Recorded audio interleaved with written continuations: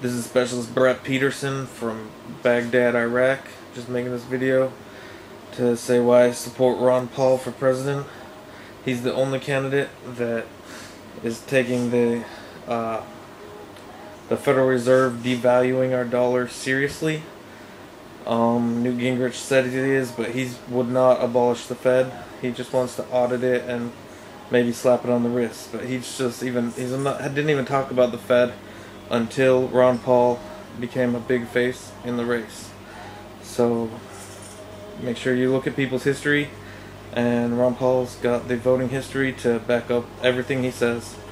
Uh, he's been voting the same way for uh, like longer than I've been alive, probably. And I just hope you will uh, consider these things when you're considering who to vote for for president.